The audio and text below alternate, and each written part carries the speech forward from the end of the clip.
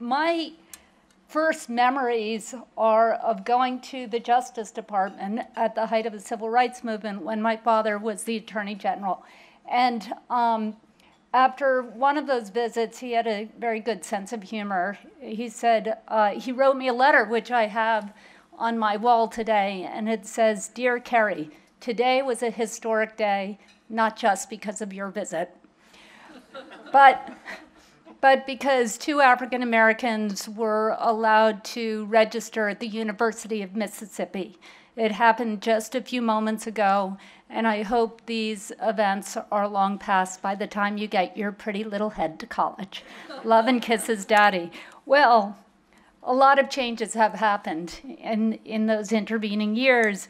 Um, uh, and it's, it's hard to relay the degree of oppression faced by African Americans when he wrote those words. Um, at the time, across the South, African Americans were prevented from voting.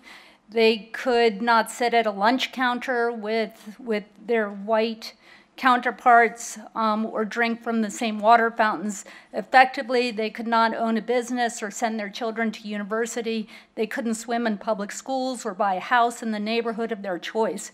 In 1955, Emmett Till was murdered at the age of 14 for flirting with a white woman. The Ku Klux Klan was in power and counted police, sheriffs, and elected officials among its leaders. The Freedom Riders bus was bombed.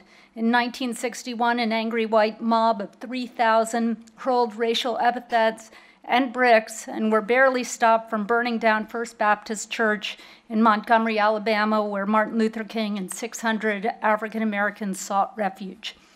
In 1963, John Lewis led 600 civil rights demonstrators across the Edmund Pettus Bridge in Selma, Alabama, to demonstrate on behalf of voting rights.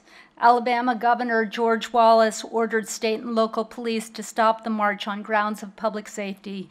The group was confronted by authorities armed with billy clubs and tear gas, which made people sick to their stomachs, in what infamously became known as Bloody Sunday. In the face of that violence and hatred, Martin Luther King called for nonviolent resistance and protest. He was inspired by Mahatma Gandhi, and he in turn inspired and continues to inspire human rights movements around the world. So today we are joined by three leaders of those movements. Um, Reda Al Fardan is a key member of the Bahrain Watch, an independent research and advocacy organization that aims to promote effective and transparent governance in Bahrain. Following the February 2011 uprising, the Bahraini government claimed it had instituted human rights and democratic reforms. In response, Bahrain Watch formed in February 2012 sought to investigate those claims by providing a web platform that collates publicly available evidence and presents it to the public. Over the last year, its goals have expanded to include research and advocacy on all forms of governance in Bahrain, including political reform, economic development, and security. Reda is the software developer be behind the Bahrain map, an Android app that users can use to find the location of protests, checkpoints, blocked roads, police movements, or anything else they are searching for in real time using crowdsourced data from Twitter. Kaspars Zalitis is a human rights activist and a board member of the LGBTI NGO Mozaika, um, the only functioning gay rights organization in Latvia. Mozaika combats hate crimes and protects LGBTI rights throughout the country. Kaspars was, um, uh, has emerged as one of Latvia's most prominent LGBTI activists. Kaspars joined Mozaika as a founding member in 2006. Since then, he has represented the organization at countless international events with Amnesty International, Interpride conferences, and pride parades all around the world. Earlier this year, a number of Americans, outraged by state sponsored homophobia in Russia, called for a boycott of Stolichnaya vodka. Kaspars made headlines after writing an open letter suggesting that Americans behind the vodka boycott reconsider their campaign as Stoli is made in Latvia, not Russia. the importance of research. um, uh, uh, Eli Wolff. Eli Wolff is the director of the Inclusive Sports Initiative at the Institute for Human Centered Design. ISI ensures that people with disabilities can become integral members of the sporting community. Eli also directs the Sports and Development Project at Brown University, where I graduated, which advances sports and social change on a local and global scale. Eli has a, built a career on advocating for athletes with disabilities. From 2004 to 2006, he led an effort to include provisions addressing sports and recreation within the United Nations Convention on the Rights of Persons with Disabilities. Eli established, helped to establish the ESPY Award for Best Male and Female Athlete with a Disability. He also organized the National Disability Sport Organization to support professional golfer Casey Martin in his successful case against the PGA before the U.S. Supreme Court. Eli was a member of the United States Paralympic soccer team in the 1996 and 2004 Paralympic Games. He, he was also a member of the national team from 1995 to 2004 and complete, competed in several Pan American Games and World Championships. So, um, without further ado, we have actually a short film on Bahrain. Please watch.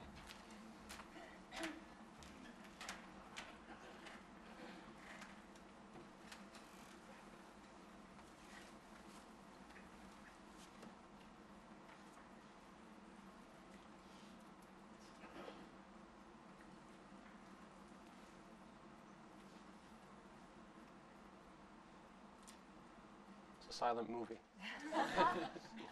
yeah. So maybe, should we start? Yeah?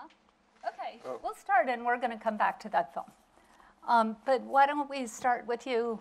Um, so tell us about the, you, you were just talking a few minutes ago about the impact of Martin Luther King on Bahrain and that sort of sense of, um, of a history of violent protests that suddenly a few years ago um, turned nonviolent. So why don't, you, why don't you talk to us about that? Okay, so um, uh, I think just to give context to those who don't know much about Bahrain because it's not always the top thing considering it's a very small island in the Gulf with just about a million people out of its population. Um, uh, we've in Bahrain's history, um, it's, uh, people have been calling for democratic uh, rights for over 100 years now, since British colonization, uh, after the British left, when the Americans came. Uh, so we've always been uh, striving to get more rights uh, for ourselves as a people.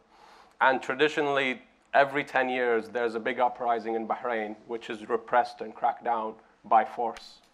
Uh, and, and, what happened, uh, I mean, the last, for example, the last uprising that I grew up in was in the 90s. And you had youths and people coming out in the street protesting, and then the government sends their uh, mercenaries, you know, from all over the world, basically to crack down and kill and torture.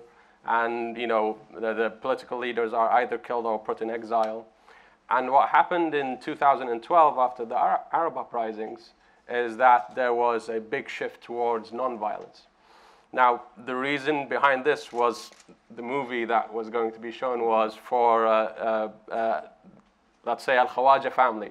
So there's Abdul Hadi Al Khawaja, who's a, uh, uh, a, a very well known uh, human rights defender who worked in different regions around the world. He's a Bahraini, and he, when he came back from exile in 2000s, and this was a period when the previous emir died, and due to the uprising in the 90s, the new king, which is the current king, uh, said, I will make peace with the people, and I will reinstitute the parliament that was only functioning for two years in the 70s. I will give it back to the people while we become a constitutional monarchy. And I will release all political prisoners while basically giving impunity to all torturers previously as well, and uh, constitute uh, a new era for the country. That era took 10 years. Abdul Hadi Khawaja came back in those 10 years, and he started teaching uh, these protesters, especially the youth, nonviolent tactics. he was an actual believer in nonviolence, where he was telling them that these policemen who are shooting at you, they are human beings as well. Uh, talking to them, tell, uh, you know, as equal people. Uh, not everybody, you know, buys that very quickly, but over about five years of his work, where he showed them, he told them, go to the police stations when you ask for your kids to see them, because usually they put them in prison and won't show, show the families their kids up until like months later. And he said, get beaten up and just put, put your hands there. So he's using those kind of tactics from the nonviolent movement here in the, in the US. And uh, he, he himself showed it by example. He went and he got beaten up and he got tortured. And Zainab al Khawaja, who's his daughter, who's also uh, now in prison, I, I forgot to mention that currently, right now, after 2011, he's serving a life sentence uh, basically for calling for, uh, I mean, as they call it, basically for calling for regime change. Uh, for him, he was calling for obviously, you know, uh, basic human rights for the people. And for him, when he was put in prison, his torturers, apart from picking him up in the middle of the night from his home and torturing him and beating up his family uh, in front of him, they tortured him and sexually assaulted him and he did it by example. He is a real believer in, in nonviolence. He did not hit back. The only way for him when they were trying to sexually assault him is that he hit his head on the floor so much he broke his jaw. And then they stopped, obviously, because he, he was, that's, that, his, that was his way of basically, you know, preventing more violence against him, was to not hit back, but I'll hit myself. And that's why it was a dramatic scene for obviously for the torturers in the prison. And he was rushed into hospital and he had a lot of uh, operations on his jaw. And there were pictures of him with a very, you know, uh, horrendous kind of, you know, sight. So he, he was a real teacher of nonviolence. People, for the five years he was there, some believed in it, some used it as a tactic. But when 2011 came with the Arab uprising, the uh, protesters that were used to basically going and protesting, cutting off streets with burning tires and throwing Molotov cocktails to uh, uh, put out policemen from coming in the villages, they just left the tires. They left the Molotov cocktails. They actually believed in nonviolence for about that year, basically, for, uh, actually for about two months, February and March, before the Saudi military came into the country. And the reason, the reason why is that people saw that this nonviolent movement actually worked.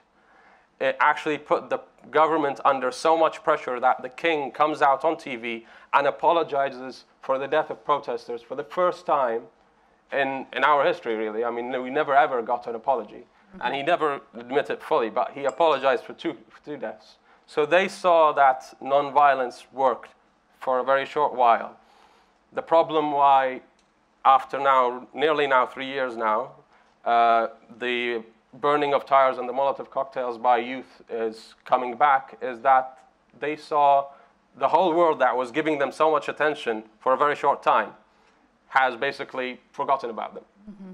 And the government has no more pressure. The U.S. still sells the uh, sells you know the government you know tanks and fighter jets and the military you know all there. So what they saw, and if you look at Martin, uh, Martin Luther King here in, in the US, his nonviolent movement, part of its success was because he was in contact with the president, with President Kennedy at the time. And there was some movement, there was some reception from the federal government mm-hmm. to the movement that he was doing there.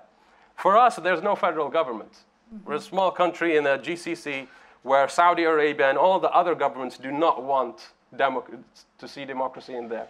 And for us, we only have the world, have the UN, you know, other kind of, you know, world Western powers and stuff to, you know, come and actually, to act like the federal government when Martin Luther King, you know, basically had the school children for integration, they can send the army for, for the federal government. Here, it was the opposite. We had armies being sent to crush us, yes. not to support us. Mm. And, uh, that, and, that's the, and that's the disappointment, basically, where in, in the US, we had so much support from Human Rights First and activists all over.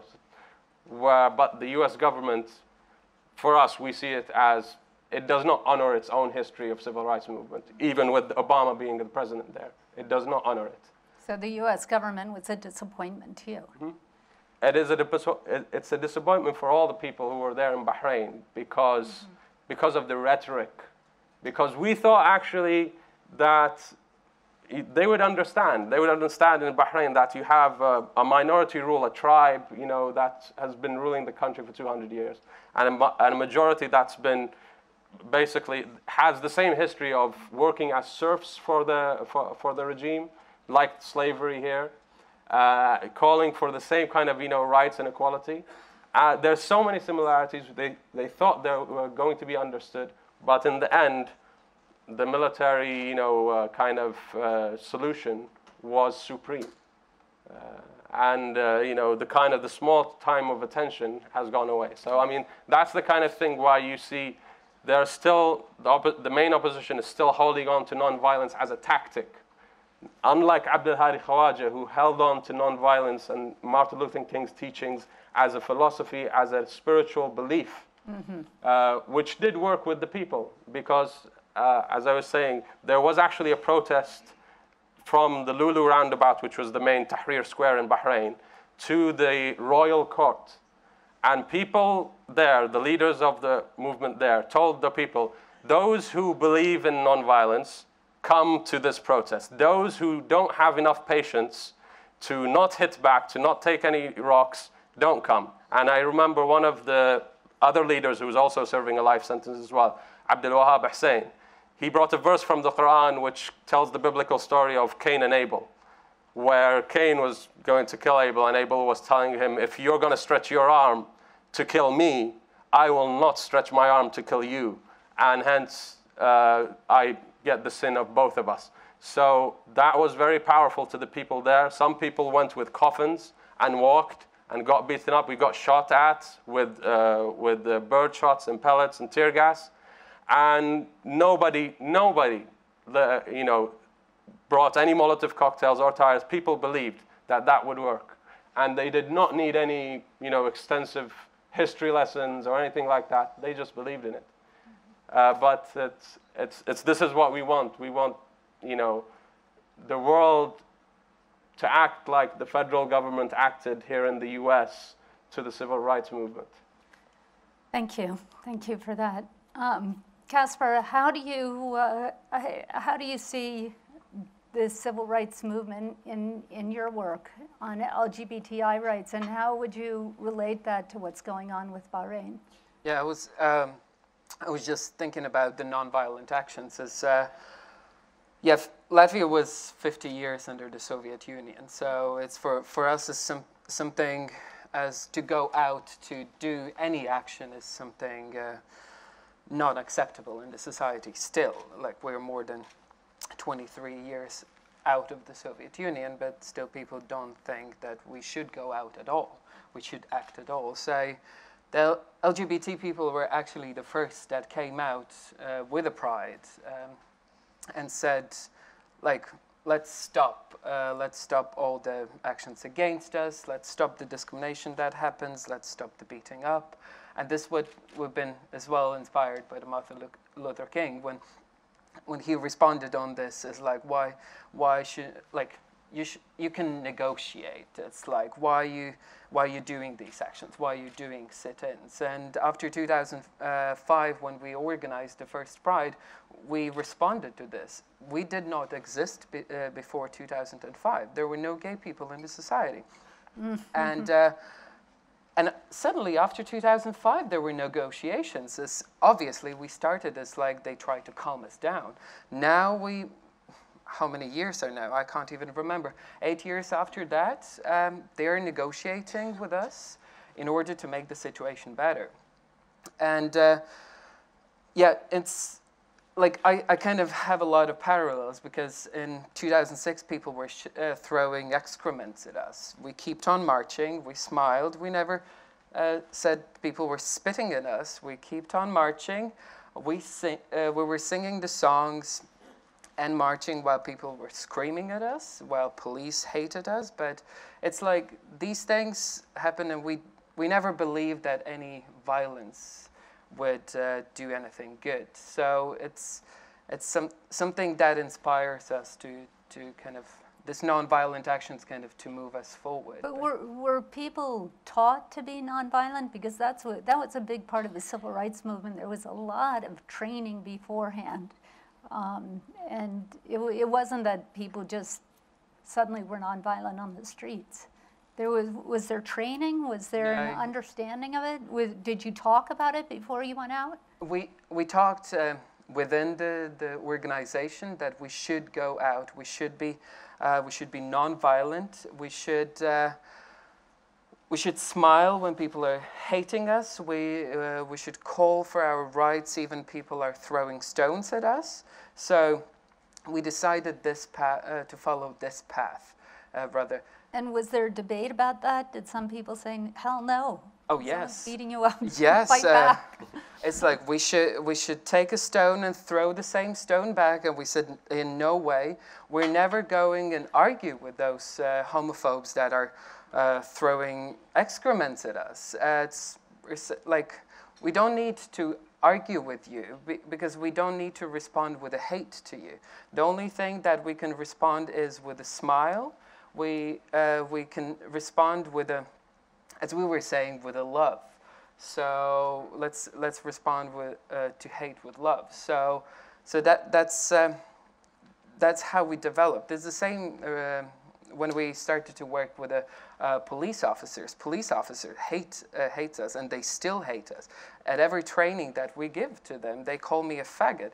I said, "Thank you for that." It's like it's not probably the first time when I hear this, but let's now uh, continue our work and let's try How to is get. it that you're doing training with police officers?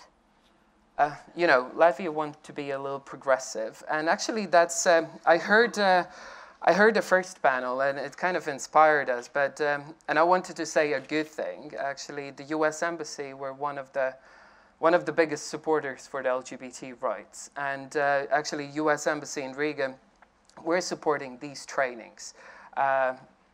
Uh, people from embassy came over and to spoke about the history of us on working uh, with the police officers and the civil rights movement. And uh, this is this is how it, it all started. And they still call me in names and i say okay let's just move forward. It's you know we believe to human rights. You believe to human rights. I believe to human rights. You probably don't think it's the same thing. Not just yet. Let's wait for some time but but but it's it's a thing that we have to we have to move forward. And I, I suppose uh, the, the ideas of the Martin Luther King and as well the ideas that uh, that the civil rights movement uh, kind of created over here. It's uh, we bring home and and uh, we implement there. So and. It, and not, just uh, not just what happened to the Afro Afro Americans over here as well. That happened when the Stonewall riots. Um, it, it happened there, and we're still marching. It's uh, you, you see all over the Central Eastern Europe. It's still a struggle. It's uh, when we we can go 40 years back in U.S. It's still nowadays. It's to, today in the Central Eastern Europe, but we're following the the path that actually started over here. So, and we hope that one day we could actually. A lot of people don't believe that pride matters in U.S. Oh, you can't even imagine how much it matters in our countries because we really want to go because people restrict us to march, and they fight so we can't march, and we, but we try to march. We follow the law. Uh, if you allow us to march, we're gonna uh, we're gonna march. If you're gonna restrict, we'll we'll find a way how to express our views. So, but most important as well, we never respond to violence with a violence. Uh, Thank you for that. So we've heard about Bahrain and Latvia, but you also, you're uh, uh, an American, and you're fighting for rights here in the U.S. Um, So talk about how the civil rights movement inspired the disability rights movement. I guess for I guess for me, I don't know if the mic is on. Doesn't sound like it. Um, I can try to talk loudly. so you guys can hear. Um, I guess for me, the, the the reason why I was very much compelled. Here we go. This is called adaptation. it's inclusion at its best. for me, when I was in um, just when I was reading about civil rights and uh, and learning about civil rights, particularly within the sports world, because I was very interested in kind of the sports culture as an athlete. But all the books that I read as a college student, high school, and so forth, there was not a single mention of people with disabilities. There was not a single chapter. There was not a single line. There was nothing in the whole book about people with disabilities and the sports relationship to sports. But there was lots of civil rights discussion about um, Jackie Robinson, the Negro Leagues, um, 1968, um, the Olympic Project for Human Rights. There were many um, parallels between um, you know, African Americans and then also globally with regard to South, South Africa and apartheid and the Olympic policy of, of banning countries that had apartheid practices. Um, and so for me, the light bulb went off and I really started to think through that there's many parallels between race, gender, disability, and sexual orientation as well, that there is such a commonality, but for some reason, disability wasn't being thought of in that way as a civil rights issue, as a human rights issue, particularly within a sports context. And um, so I, I just remember th- with several colleagues, we're like, how can we begin to, you know, not only write about these things, but also advocate and educate. Um, and so, at the chance with the United Nations and the Convention on the Rights of Persons with Disabilities, that was worked on from 2003 to 2006 and then through 2008, um, the opportunity to actually be a part of integrating the element of, of sport, recreation, physical activity, and play as part of the broader disability rights discourse, but also to think about how the right to sport and play um, transcends not only for people with disabilities, but also as it relates to um, other groups. So, particularly um, taking the Convention on, Against Apartheid in Sports. So, the United Nations already had some precedent for thinking about the right to sport. And so, for me, this was very inspiring and an opportunity to really think through how can disability be elevated and how can people with disabilities begin to be seen within this civil rights and human rights paradigm and this framework. Um, and so for, for me and for my colleagues, as we do this work around trying to put people with disabilities into the discourse of, of sport and civil rights and human rights, we're always strategically making these connections.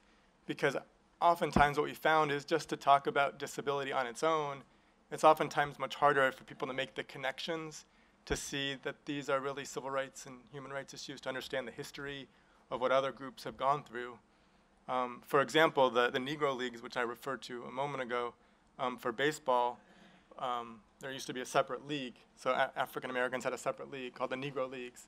And then there was an integration process of bringing um, the Af- African Americans into Major League Baseball. And so similarly, you see that now with organizations um, very much segregate many microphones. you see that now with, um, in some ways, you could call it a segregated system, as it is now, the Paralympics and the Special Olympics. In some ways, you could actually see those systems of sport for people with disabilities as very much apartheid. You could see that as, as segregated models. And so to really think about how do we think through the transition and the empowerment of, of a rights-based approach for bringing people with disabilities into the fold as being valued, as being respected, as having dignity as athletes, as, as being able to compete, participate, play. It's not only about the elite level, it's just about just as anyone with, with or without a disability to be able to do sport and to be active and to have that right to play, to be active, that people with disabilities are also within that realm. And so, I guess from my perspective, the civil rights movement and the nonviolent aspects and the ability to think about it from an educational perspective and to really think through how sport has been a vehicle for the broader civil rights movement. I think it's been very powerful to see how sport can also help to transcend and help to engage within the disability context too. So it's, um, and I guess just on a final point, I feel that the intersectionality, the um, at a broader level, because as I've evolved in my work and my interests, I have seen that disability is really a lens. You know, disability is one view for thinking about um, human rights in sports, but it's also very much about this broader sport and human rights conversation. Um, and so I have seen myself and very much engaged in the broader realm of sport and human rights activities, whether it is continuing to look at LGBT rights or whether it's looking at gender equity in sport or if it's looking at um, you know, racial or religious equality. So across the board, um, I think that the sports realm has become very much an allied movement. So there is a sense of the inter- you know, coming together and figuring out ways that we can support one another. I think that in our kind of movement and leadership through the CRPD, um, Convention on the Rights of Persons with Disabilities, I've been overwhelmed by the amount of support that we've received from the other civil rights and human rights movements, that there's been a really sense of support that this arena of engagement in sport is not only important from a disability perspective, but also from a broader civil rights and human rights perspective. So why did you um, strategically decide to um, work on disabilities from the international human rights perspective instead of working domestically on changing laws in the United States? I guess the way that you know my colleagues and I and a team that I have, um, we've we approach at a sort of a systems level approach. So we do feel that we are engaging internationally, but also domestically here. We are um, we're very involved with the the recent um, Department of Education federal guidance that was issued with regard to um, opportunities for students with disabilities in the schools. So from from kindergarten all the way through colleges and universities, that that has sort of been a big gap of opportunity. So there, there is activity of engagement at a US level, um, but I do think that that whole understanding of the global piece and having had that opportunity, um, actually Charlotte is in the room with USAID, who was one of the you know, major leaders and, and a big source of inspiration for me in the work around the CRPD. Um, and so being able to understand that global impact, um, the one sort of message at a global level that the CRPD put forward was an understanding of nothing about us without us, um, which really means about being in positions of power, in positions of leadership, to be able to take that um, role, to be able to have um, a seat at the table. And I feel like that message is very much the case not only internationally but even here, you know, domestically.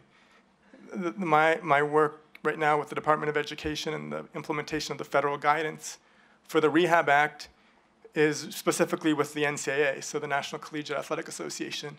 And there's not a single person within the NCAA that has a disability, not a single person in leadership of any athletic department or any staff level, any um, athletic conference director, anything that has a disability. So it's really interesting to try to influence a system like that.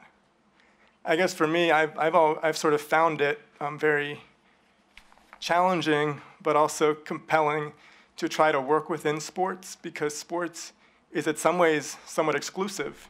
You know, sport has an element sometimes of thinking about being exclusive, or you know, you setting who get who qualified, who doesn't. But so I think the challenge of trying to figure out that system and to create a way for it to be inclusive and to create opportunities for people with disabilities to still be respected and understood as athletes and having that cap- capability. It's really about having that potential, to have that tryout, to have that chance to be able to, to do what you want with your body and as an athlete. And so I think learning that from particularly um, the other civil rights and human rights movements has been very powerful. Thank you. Um, we're going to have time for some questions from the audience, so think about those questions. Um, and I'll, I'll just I'll ask this. Taylor Branch talked about the importance of, um, of nonviolence in actually in creating change and, um, and specifically at, about getting a seat at the table. You know, when you're in a situation where you have no rights at all, how do you get to have those rights? And um, he said that that nonviolence was center, central to that. And, and, you're also talking about um, how do you establish rights when they're not there beforehand. Do you think about that in, in Bahrain? Is, and because you've had, there's been a, a big debate within the movement in Bahrain whether to use nonviolence or whether to use violence. And it sounds like there was a short period when people agreed nonviolence was okay, but now they've gone back to violence. So how do you Yeah. how do you see that playing out? Well- I mean, as it, it's it's not that. Oh. I'm getting echo. uh, My voice is already loud. okay, it's not that the whole of the people went back to violence. It's that in a short period, everyone was unified behind the non-violence movement. Right now, the situation is that there's the formal opposition parties who lead mass protests. They still do, uh, which are safe, uh, you know, and non-violent, and usually they end up after the protest ends. Police come and attack, and then there's like small youth who come, uh, like small groups who obviously respond, uh, you know, with uh, blocking roads and uh, violence.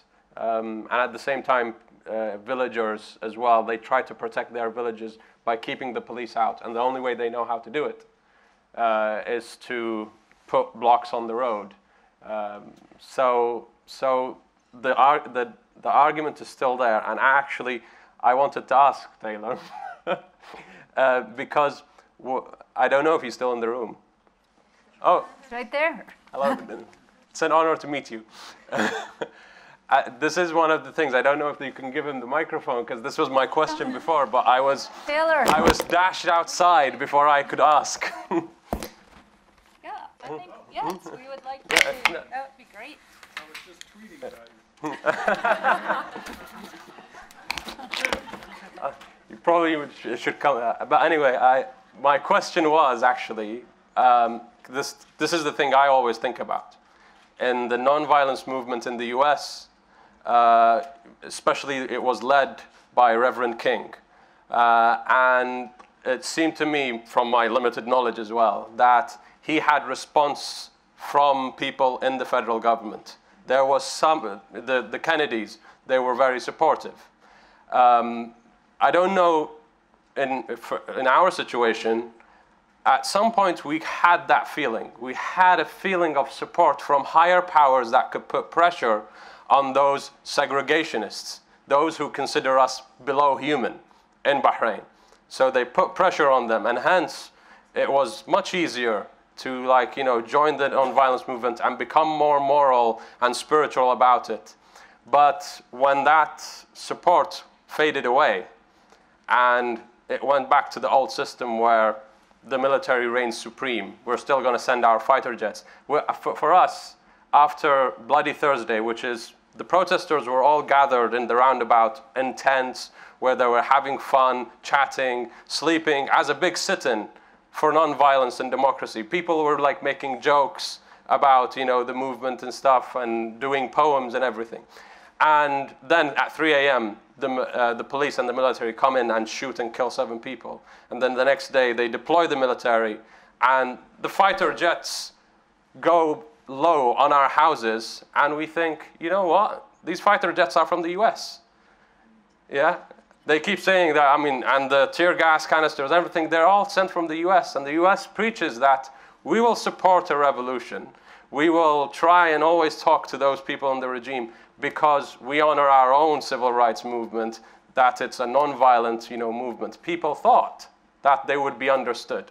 But it seems that in the US, I know that some people like you and like many others that, you know, Brian and stuff who are very supportive, they support the Bahrain Revolution on moral grounds.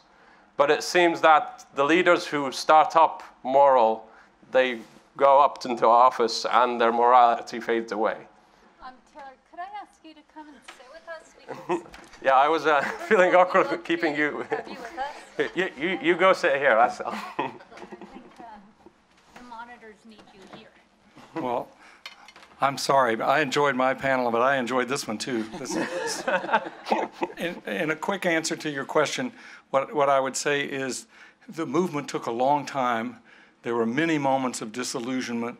Every moment of disillusionment was a challenge to figure out how to make that the beginning of the next conversation and not the end, not the, not the surrender to despair, not to, to figure out what to do with it. Do we go talk to those policemen? Do we, do we, do we send out uh, Twitter messages to the whole world? Why are you ignoring us? You know, what do you do next? Because remember, the civil rights movement Birmingham was nine years after the Brown decision that formally outlawed segregation and said it was incompatible with the U.S. Constitution. It took a long time. So those things are hard. And even, even Robert Kennedy, um, it, there was support, but Robert Kennedy was also frustrated with the movement. No, you're going to like this. You're going to like this. Robert Kennedy grew steadily interacting with the movement from a position of not knowing a lot about it but being sympathetic. And then when he'd do something it would do harm to his brother. Then he'd get mad and he'd do something to try to throttle the movement and say back up. Then he'd feel bad about that and he got to know people through it. And uh, that was that was the process by which he became robert kennedy. Um, so these things don't happen overnight. There were many times when the, uh, uh, the civil rights movement was frustrated with the Kennedy administration, but when uh, President Kennedy gave the speech, I think the night that your dad wrote that note, uh, that very night, that was the greatest moment. Um, that was really a pivotal moment when he defined the, the civil rights issue in moral terms uh, and said, you know, we are confronted with uh, primarily a moral issue. It is as old as the scriptures and is as clear as the U.S. Constitution. That was a great moment. But you have to remember, only months before that, at Ole Miss, the president gave a speech saying, I didn't have anything to do with this lawsuit. The judges were all Southerners, and you know, you're integrating because uh, you want to honor your, your football traditions. So he wasn't embracing the moral. So it was it, it's never a smooth thing. So I just want, it's a long struggle. It's very profound, and people have to always adapt. Do you do you, do you have a response to that? Yeah, no, I think it's. Yeah, no, it's just very interesting um, just to hear these different perspectives, and I guess for me, one thing that I wanted to share a little personal note is that my grandfather was um, a part of um, Justice Earl Warren's, um, he was clerking for Justice Earl Warren during Brown versus Board. And um, so I don't know exactly how that had an effect on me or, or whatnot, but I'm, I think it has because of the way that I'm, you know, I, for me, just these principles of, of justice and equality and being valued and what it means at a very visceral level to, to you know, what does that feel like to just be accepted and have that right to do, um, to achieve your, your, to achieve what you want to achieve. And um, you know, I guess for me to hear your presentation and, and the others, and even the history of the of the building of the Declaration of Human Rights, I mean, it, it's all just very powerful.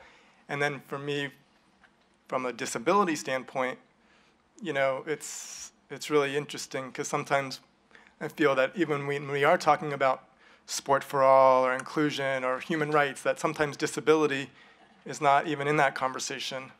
And so I think now it's starting to be. I think that there's more of an awareness of um, that people with disabilities are integral and central to our society. Um, but again, there's there's moments in history, if you look back, of kind of the invisibility of disability. You know, where sometimes it's visible, sometimes it's invisible. And I guess some the way that I like to think about inclusion is to go from being invisible in, a, in an excluded way to being invisible in an included way. Mm-hmm. And so I feel like if we're able to make that evolution in our society um, where people can just be, be themselves and be there without being labeled or being something, then I think that, and so all that you're talking about really speaks to that for me.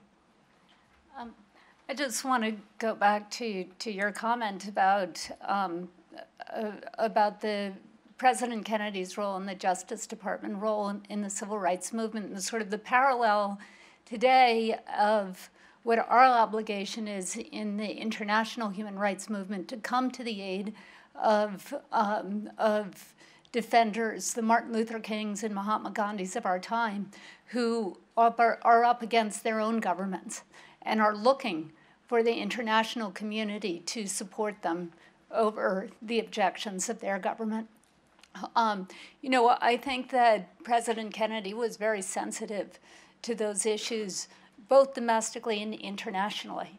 And he stood up um, for, uh, for people across Africa who are shuffling off the, the coils of colonialism. He was um, the first senator to say that we should stand with the Algerians against the French when they were trying to get independence.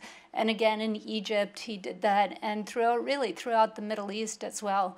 Um, he thought that we shouldn't be aligning ourselves as the United States had traditionally done with the royalists, but we should be aligning ourselves with those who um, he felt represented the, the grassroots, uh, the people in throughout South America and in Asia um, and the Middle East as well. And um, well, can I say something else about my uncle?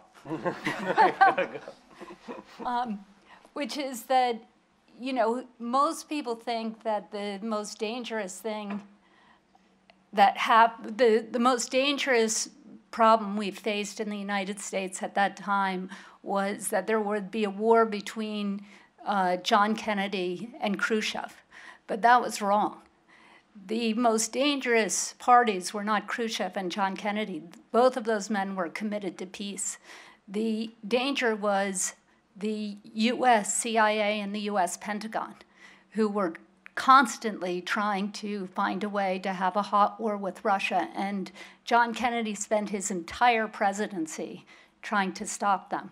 And one example of this is Mississippi, when he, um, at the end of 1963, there were 16,000 advisors in Vietnam. Advisors, no ground troops. But he had sent 20,000 ground troops to Mississippi to integrate the university there. And after the Bay of Pigs, he said, I wish we could take the CIA and cut it into a thousand pieces and blow it to the wind. So, um, you know, he was sensitive to these issues. And in Haiti, the word for coat is Kennedy. And in, um, in Morocco, the word for milk is Kennedy. And in Lebanon, the word for bombs is Bush.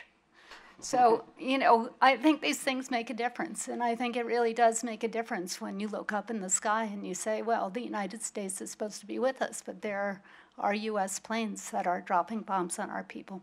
So, um, do we have questions? Uh, how should we do this? Can, okay, please.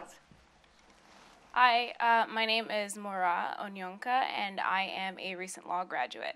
And my question for all of you is beyond looking at education, as Alida and also Eli mentioned earlier, how do we reach, inspire, and then motivate young activists to essentially mobilize? You know, is it tweeting as Taylor was doing? Is it um, making activism more sexy by having internet campaigns? What tools and mechanisms have all of you found in both Bahrain and you know within the uh, I'm sorry, I can't remember the name of your institution, um, and also with your Gay Alliance group, like what tools and mechanisms do you find that you're able to employ?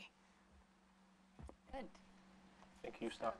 Okay. Um, now, I think internet is cool, uh, and we can, uh, yeah, we we can use uh, Twitter, Facebook, and this is how we engage with uh, some of the people.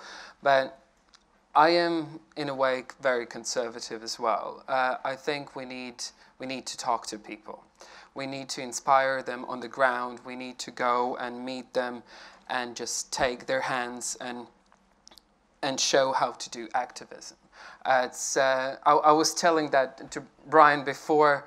Uh, I consider myself as a professional gay. So if somebody ever needs in Latvia to see a gay person, I just go and shake a hand. Hello, I'm probably the first. So, and and this is this. And in Latvia, this has happened. Oh my God, you're the first gay person, and you're okay. It's like you're not sick or something like that. So, okay, we can do something together. So this is uh, a lot of times we, need internet to kind of get together, get masses, but in order to get the true activists, we need to go and meet them and inspire them and talk to them. So this this is this is my, uh, my thing, cause cause yeah, it's like this is how we got those people who we are marching, we're working on an everyday basis. We we just go and we take their hands uh, with us, and we tell the stories of those people who who cannot tell their stories. For example, in the same time we were talking about our old people in Latvia, we don't have old activists because they're still afraid to go out. We are, we young people, we give their message out, and we need to do that because some of those um, LGBT people that were in the Soviet Union, uh, we just brought, we just published a book in English about uh, homosexuals in the Soviet Union. There were many stories about that we did not include because those people who gave interviews, they're still afraid that somebody gonna come and pick them up and lock in a prison or lock in a mental hospital. And this is what the young people have to do. And and yeah, so we just need to take their hand and and just do activism. So internet is cool, but the private Reda? Um, well, the Bahrain experience with the internet, well, internet is cool. so um, we do realize the benefit. Um, wh- I mean, for example, when we compare ourselves with the U.S. civil rights movement, getting the message across takes so much effort. And the internet just made it so much easier for anybody to join the movement and actually get the message across. However, a lot of the times we uh, uh, especially here in the US media, because Twitter, in the end of the day, is a US product. They're so happy to say it's a Twitter revolution. Um, Bahrain actually started not on Twitter. Uh, Twitter was not popular at all. Uh, Facebook was a bit more popular. Um, but the true kind of uh, thing that was utilized by people to get the message around were village web forums. Uh, so even before the internet, when mobile phones had SMS, communities in villages uh, they used to have everybody had a who had a mobile phone can sign up to the community village, and it's like, oh, somebody's ill, we can go visit him to the hospital. Oh, this this person is getting married. This person just had a child. Also included, there's a protest on this road. Let's go. Uh, so those kind of methods were instantly picked up. Um, what Twitter and Facebook did was suddenly it gave us access to international journalists. International journalists were the biggest marketers for Twitter for us. I, I, mean, for me, I only joined Twitter not because I wanted to discuss my opinion, blah, blah, blah. I still believe in what uh, Kaspars was saying, is that for real movements, you need real interaction, you need people. The, the bulk of the movement in Bahrain comes out from a protest after going to prayers in the mosque just like uh, the civil rights movement, it was all the black churches. They come, they sing hymns inside the church, and then they go out in the street and they sing songs about, you know, demanding their rights. It was the same in Bahrain, where our songs and traditions, you know, our marches, we have religious processions during, you know, religious occasions. It's the same thing. A big bunch of people marching on. One time they're chanting uh, religious slogans. The next time, uh, you know, they're chanting about, you know, their freedoms and release of prisoners. So that was the bulk of the movement. It's actually people-oriented, based inside communities. However, the internet, Twitter, suddenly, when it was just us, us and the government, it became us, the world, which was accessed by Twitter and the government. And it was a big tool. But at the same time, there were disadvantages. So the government used Twitter when it used to be, they used to force small children by sexually assaulting them or you know uh, threatening them or you know paying some people inside the communities to become informers. Twitter gave them a new platform to spy on you know activists. So they hired a lot of Western, and this is one of the stuff that we were doing in Bahrain Watch, where they you know spent uh, hundreds of thousands of, uh, of dollars, you know, on software to basically spy on activists through this media. They used to send like small links uh, from fake accounts that looked like revolutionary accounts. Oh, open this report about this human rights violation. And when you click on it, it actually uh, sends your IP address back to the ISP inside Bahrain, and then they can identify who you are. And actually, we have about six, uh, six Twitter users right now uh, serving about a year, uh, a year sentence for insulting the king over Twitter. Um, and actually, just yesterday, uh, we had Twitter and Facebook for the past year, you know, for insults to the king. And in fact, the, in the Bahrain Penal Code, if you insult the king, the flag, the army, the police, the parliament, all of those are in the penal code if you insult them, and insult is a vague word anyway. Over Twitter, you basically, you know, get uh, punished by, you know, up to five years sentence. Yesterday, one was being charged with uh, uh, insulting the king over Instagram. So welcome Instagram to the club. Yep, yep. Just a very quick addition to what's already been said. Um, I guess one thing to think about in terms of young people and activism, especially with many of them being students, is to think about how they can connect it um, between en- engagement and action with some type of a research initiative so that they do think about the history, so they do begin to make a connection to the context that they're working within. I think one quick example that I, I love to share this one is that there's many folks within the sports world, even current athletes, that say they they want to be like Muhammad Ali. You know, they, they're all about Muhammad Ali. They know everything about Muhammad Ali. You know, they're going to be just like what he did. But if you really talk to them, they don't, they don't actually, they don't know his history. They don't know any of the, the movements or the poetry or any of the, the stories or, or the way that he really changed the world. And so, and sometimes um, activists, you kind of looking at how they're, what knowledge base they're working off of, and in what ways are they sort of co-opting activists. You know, they're saying, I'm going to use this name of Muhammad Ali, but to what extent are they really kind of deeper in their in their commitment? Um, Taylor, could you also address this issue because uh, I think there's a, a sense out there that people in the civil rights movement just suddenly, like Rosa Parks, mm-hmm. suddenly wouldn't get wouldn't move from that bus. But in fact, that's not quite true. Yeah, it's really fun for me to be up here with these uh, young people. I think they're doing such a great job. Uh, I, I, would say uh, to the to the young lawyer that my chief lesson from the civil rights movement is that you need to emphasize asking questions and getting outside yourself a little bit more. Yes, it's about putting your views out there, but what makes a movement grow is a sense of discovery, and you can't have a sense of discovery without a sense of surprise and a little bit of risk. So, one of my favorite people from the civil rights era, Diane Nash, who's actually going to be here next week, uh, likened the move every day in the movement to her wedding day in this sense that her knees were always shaking and she knew she was taking a leap in the unknown um, and it, that it was going to profound, profoundly define her, but she's getting outside herself. And when you discover, if you ask questions, Movements rise on questions. People, if you find out somebody else is asking the same questions.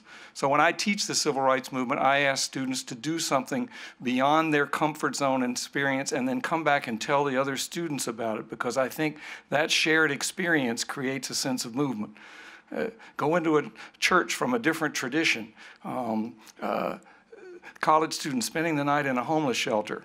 Uh, a the basket, a forward on the basketball team went to a Friday night service at an Orthodox synagogue and came back and talked about what he learned and how he was treated. That's kind of a movement experience. And if I'm not saying that for all of these movements, but it, it, it, it, it's kind of the routine to, to get comfortable with being uncomfortable and asking questions where you don't know what the answer is going to be. Because if you just preach to the choir, you, the movement's not going to grow. Okay, I, would add one other thing. We have Maina Kiai here. He is, he's, he's from Kenya. Wave, there he is. Um, so he's a community, or he was uh, the leading, one of the leading human rights lawyers in Kenya. And he is now a community organizer there because he thinks that the, the way to really create change is going in, go into communities and not tell them what they should be doing, but ask them what they want you know, what are your priorities? Is it education? Is it healthcare? Is it the right to vote? What do you want? And then get people to work together to come together and demand change on the issues that they identify as important, not that, you know, you identify as important. Um, Yes. Yeah, I, I just wanted to to respond. get to another question. Yeah, uh, on how did the civil rights movement as well inspired? Is at that time you didn't know where to go. It's like every single step was uh, was going to something unknown. For us, is we know because we see. It's like you have achieved rights, you have achieved equality. So this is we can we can get there as well. At least at that time, you did not know what's going to happen. For us, we know that the change is going to be over there. So that is kind of gives us an inspiration to move forward because we see the light over there. Whether it's going to be tomorrow or after 10 years, but there is going to be. Very good. That's the optimism you were talking about. Uh, yes, please, can,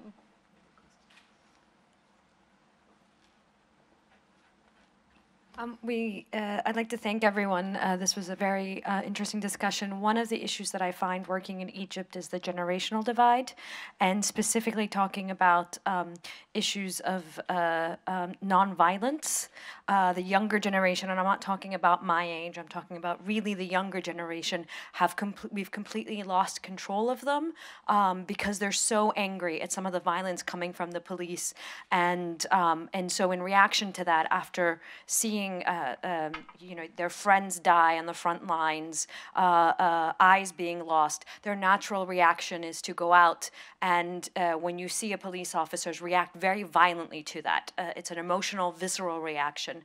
Uh, with the internet, um, one of the issues with it, well, I think it's a it's a huge uh, opportunity for us to engage. It's also a huge opportunity for them to organize outside of institutions that teach nonviolence or advocate for nonviolence, or even individuals that advocate for nonviolence. So I'm wondering, across this generational divide, looking at some of these issues, how do you connect?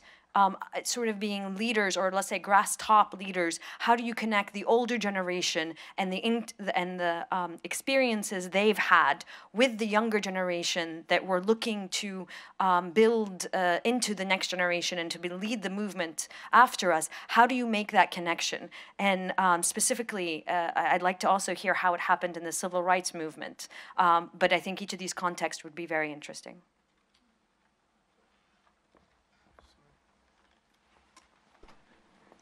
Yeah, I guess for me, I feel that it's a really important um, issue, um, and as I relate it to my own work and you know, kind of my commitment around sports and human rights and civil rights, um, I guess for me, I've I've really put a strong emphasis on discovery, and on kind of understanding the history, and finding those people that were pioneering these kinds of ideas before, and been and we're thinking about how to make these breakthroughs and how to think about the connection of sport and human rights and inclusion and disability rights, and trying to get those folks that may have been lost over time and actually give them a chance to um, have a have a stage or have a voice for young people.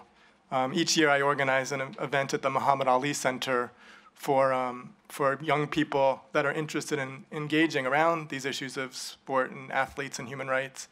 And I, the main goal of it is to try to do that in the transfer of history and the transfer of knowledge and, and learn thinking about the different strategies and approaches and, and how young people can really think about their own leadership potential and their own innovation. You know, I feel like especially at, in this generation, there's a big, there's a, a lot of interest and commitment around social innovation and social entrepreneurship. And so young people are oftentimes thinking about that they're the first person to ever come up with this idea. And so it, and sometimes it, for them to sit down and just take a moment to actually realize that there's been, there's been history, waves and waves of people that have come before, and to really take the time to know those folks. And sometimes they may, you know, um, those become really important friendships, and, and we talked about mentorship, and, and so I, I feel like building those bridges is very important. thank you. Um, It's okay, I have the microphone.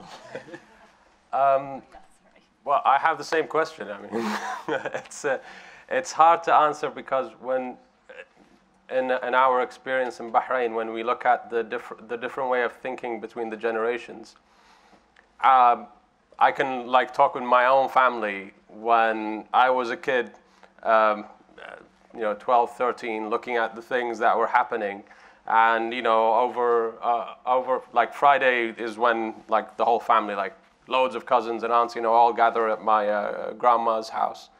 And as soon as I just like, you know, say, criticize the government, my grandpa would say, shush, the walls have ears. So that's it. Like, you know, look, it's, uh, they're stronger than us, then just accept it and shut up. Um, so that was like his generation. And then you see my father's generation, where he was very much politically aware. Uh, he wasn't like straight away, uh, you know, active in it. But I still remember, for example, he, uh, he was given an award uh, for his um, achievements, you know, and, uh, after getting his bachelor's degree. In those days, there weren't that many. Uh, so he did, he did a lot of achievements, and he was going to give an award by the prime minister. Our prime minister is the same prime minister since 71, so it's been like 42 years now, the same prime minister, who is the root of a lot of problems in the country. And I remember him uh, he, he was going to be given the award on TV, and everybody in the family, go, go, you're going to put on TV. In those days, being on TV was like so cool. And he said, no, I will never shake my hands with this guy. For me, that was my first actual understanding, because I was a kid, of what's going on in the country, because, you know, it, it wasn't taught in history, there's no books, there's no communication. So it's like, oh, there's something wrong going on here. So his kind of, you know, form of protest was basically cutting off not even accepting, you know, uh, uh, shaking hands with the prime minister. When I graduated, I went and shook hands with the prime minister. In, the, in, the, in those days, this was the beginning of 2000 when the promises of reform and optimism uh, in Bahrain, when the king promised reform, 98% of the people went and voted for reform.